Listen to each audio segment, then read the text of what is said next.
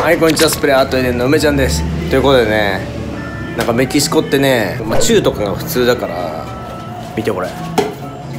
アートじゃない。チューされた。ベロの前で。ということでねメキシコで野菜を買いに行ったら女の子にチューされるみたいな。どうやってそうの起こったのかっていうのを動画撮ったんで見てください。どうぞ。メキシコではフルーツとか、うベジタブルベジタブル野菜こうやって買うんだよね。こうやって買うよ。見て。全部キロとか全ね部キロトマト。うん。全然わかんない。いくらになるのか。お店の人がリンゴかじりながら。めっちゃ早くない？何が？リンゴ食べるのかリンゴ食べながら。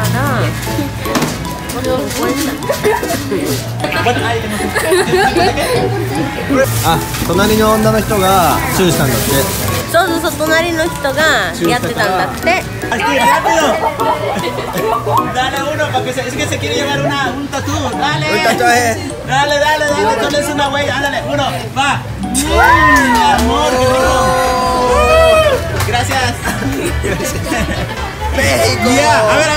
これがね、メキシコです、そうだだからメキシコで野菜売って。る人にチューして。って。言ったらチューして。くれる